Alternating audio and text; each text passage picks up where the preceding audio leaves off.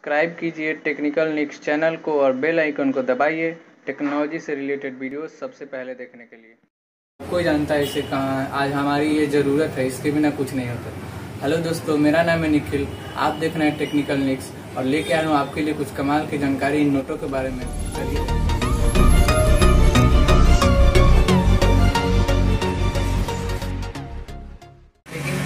जानना ये है कि आखिर ये इंक कहाँ से आती है? अचानक एक खबर आई है कि नासिक के जो प्रिंटिंग प्रेस है, वहाँ पे इंक की किल्लत पड़ गई, जिसके कारण नोटों की छपाई में काफ़ी स्थिति जो है काफ़ी धीमी पड़ गई है। लेकिन आखिर ये इंक आती कहाँ से है? आज यही जानते हैं। दोस्तों, भारत में लगभग 50 परसेंट जो इंक है दूसरे देशों से लाई जाती है और यहाँ उसका उपयोग नोट छापने में किया जाता है। लेकिन ऐसा नहीं है कि भारत में नहीं बनता है। ये इंक भारत में बनते हैं, लेकिन उसका उपयोग काफ़ी कम किया जाता है, क्योंकि उनकी क्वालिटी में थोड़ा अंतर होता है। इसलिए ये स्विट्जरलैंड से लाया जाता है और इसका हिस्सेदारी 50 परसेंट रहता है। लेकिन ये जानते हैं कि आखिर ये इंक होते कितने प्रकार के हैं? किस इंक का कहाँ यूज़ किया जाता है? कैसे यूज़ किया जाता है तो दोस्तों, ये इंक जो होते हैं, तीन प्रकार के इंकों में सबसे पहला नाम आता है इटोगोलियो का, वहीं दूसरा नाम है फ्लोरेंस और तीसरा नाम है ऑप्टिकल।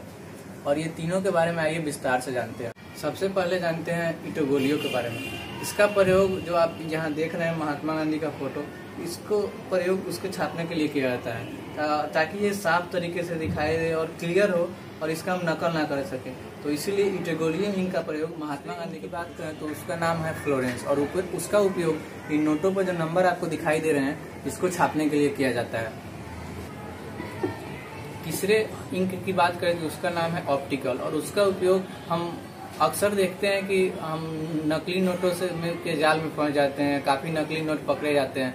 तो इस इंक का उपयोग जो है ऑप्टिकल इंक का जो उपयोग है वो है। लेकिन आइए जानते हैं कि आखिर ये नकली नोटों से बचने के लिए क्या किया जाता है। तो नकली नोटों नोटों से बचने के लिए हम ऑप्टिकल इंक का उपयोग करते हैं, जो हमें नकली छापने से बचाता है। इसीलिए इसका उपयोग हम नकली नोटों को बचाने नोटों के बारे में आपको जानकारी काफ़ी पसंद रहेगा और, ऐसे ही जानकारी लेने के लिए हमारे चैनल को सब्सक्राइब ज़रूर करें और बेल आइकन को दबाना ना भूले।